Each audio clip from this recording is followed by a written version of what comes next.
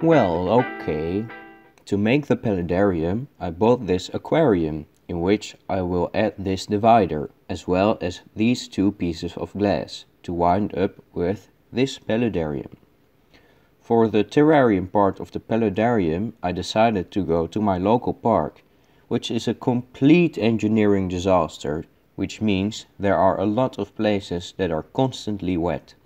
In those places, only plants that like it wet will grow, and it will be wet in the paludarium. For the aquarium part, I scooped up some aqua dirt and oh look, a pretty duck, a cow duck. I'm also taking some water as well as some dirt scooped up with this net. Let's start building. First I'm adding the dirt to the aquarium part. Next is the water.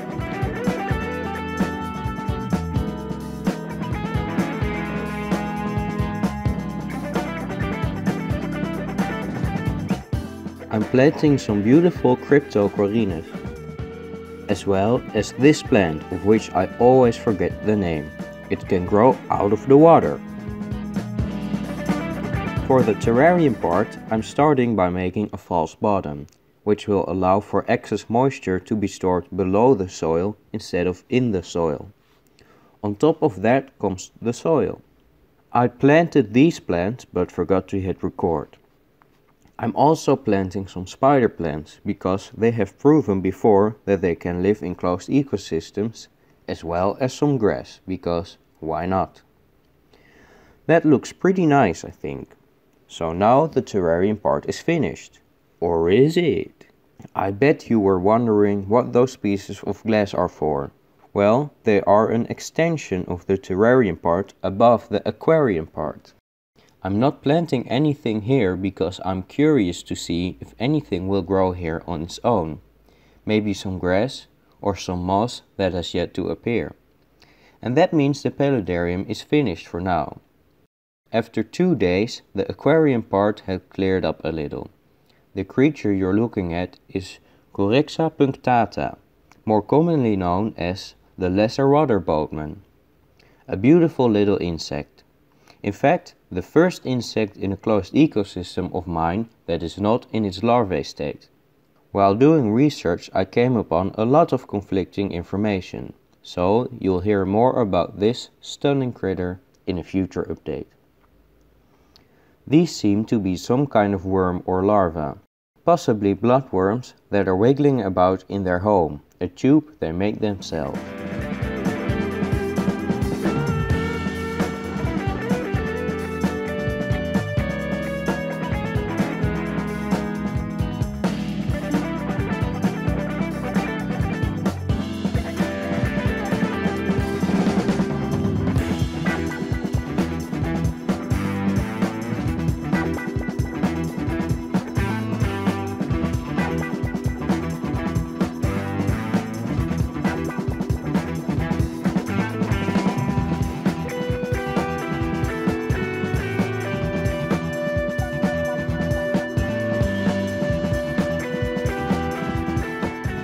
This appears to be a red mosquito larva. It's certainly a Chironomidae larva. Fun fact, what comes out of a red mosquito larva isn't an actual true mosquito.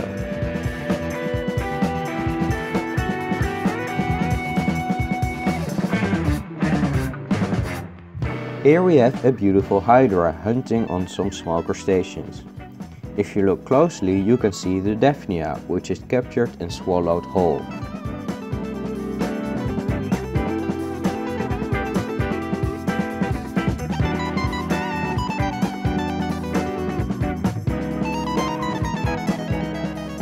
Here you can see that the Hydra's tentacles are constantly being hit and therefore are retracted quite a bit. I'll speed up the footage so you can see them expand and contract.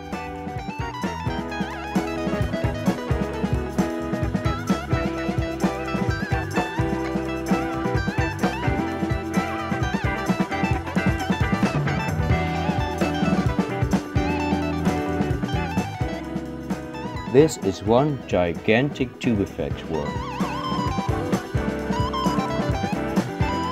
Let's take a look at the paludarium one week in. If you look closely you can see a lot of tiny short tubes. The worms that are waving about in those tubes are tubifex worms, a species from the genus Tubifex. When I disturb them, they quickly hide in their cocoons. Over there, lurking in the distance, is a big fat hydra with a big fat butt. This is a mystery worm. And these are two more mystery worms. Sometimes bladder snails, Physa fontinalis, just like to show off and be pretty and do tricks. And you kinda just have to let them.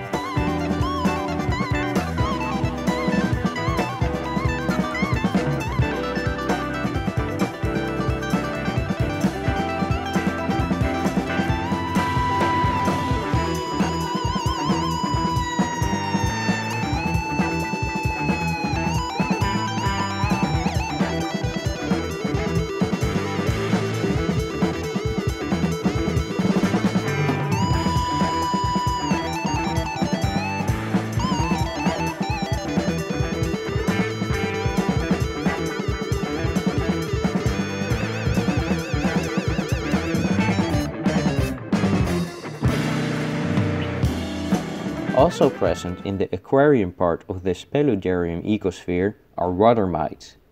Neato. Something you'll see these bladder snails do quite often is float up and down in the water. I'm not sure why they do this. They breathe air and have an air bladder, hence their name.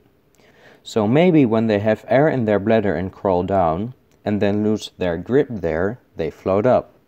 And when they have no air and they lose their grip from the water surface, they sink.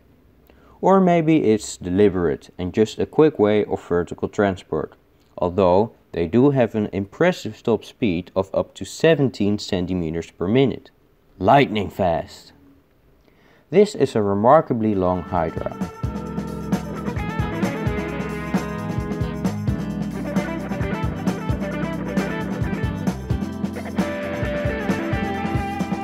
This is a little seed shrimp. Gotta love ostracods. This is a different type of snail, Planorbis planorbis, from the family of ram's horn snails, chilling with the tubifex. I have come to an awful realization. These are tubifex, and these are boogie worms, which means that I have wrongly called tubifex nematodes in all previous videos an error I can never fix anymore. But I can do it right from now on. At least I wasn't wrong about the boogie worm part. Here are some snail eggs. There are a lot of these little bugs in the paludarium. They look a lot like some sort of boatsman or backswimmer. If you look at their small size, you would think they belong to the family of pygmy backswimmers, Pleidae. However, Pleidae all have in common that they are very round and fat. However, these insects right here are quite flat, which leads me to believe that they are from the family of Corixidae, the water boatmen. However, those are generally a few times bigger, so I have no idea what species these might be. I do know that they are quite cute. This is what I like to call the Hydra pit, because, well, you know, there are a lot of Hydra here. These crustaceans right here think they're really tough, but you know what? There's nothing cool about playing with your life. If you look through the aquarium from this side, you can see the terrarium, which is a nice bridge into the next part of the video, the terrarium part. I already put the glass on top, but I want to monitor the paludarium for a few more days before I completely seal it. What we have here is a plant that is already quite big and will probably only get bigger. It will be interesting to see how that unfolds. This plant here is a Fragaria vesca, a wild strawberry. This is one of the two spider plants, Chlorophytum comosum vittatum. Nothing really grew here yet, but that's not very surprising. The grass has grown quite a bit in just a week, a new plant has sprouted. I have no clue what it is yet. Here's a pretty side shot, because, you know, why not? This plant already started to grow quite an intricate root structure. You'll also notice that there are quite a few sprouts deep down in the ground. So this is the Paludarium ecosphere. I'm really happy with how it looks and I can't wait to find out what will happen and how this thing will develop. If you don't want to miss other projects and future updates and you haven't already, well, you're going to have to subscribe. Thanks for watching.